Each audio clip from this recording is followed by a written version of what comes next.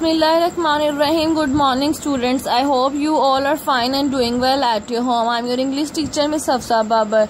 Today I'm going to discuss page number 24 of summer pack of class 7 and today we are summarize, we are going to summarize the given lines into a precise manner and we also we will also write the title in the end. First of all, we'll, we will read the passage. Besides knowing the type of fertilizers to use, a farmer also need to know when to apply the fertilizer and how to apply it.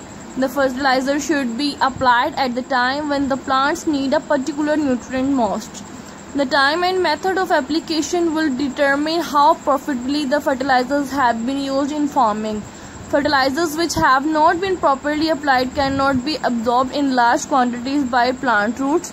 The fertilizers may be washed away by rain or they may kill the plants. This would mean a definite financial loss for the farmer. Okay student, after reading you will and the understanding of the passage or lines you will summarize it into most appropriate manner. In this way, you can summarize the lines. Now, the proper title is the time and method, method of fertilizer.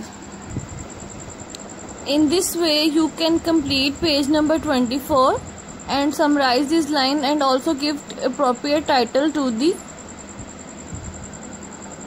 to the lines. Okay thank you. Done from my side. Allah hafiz. Stay home. Safe life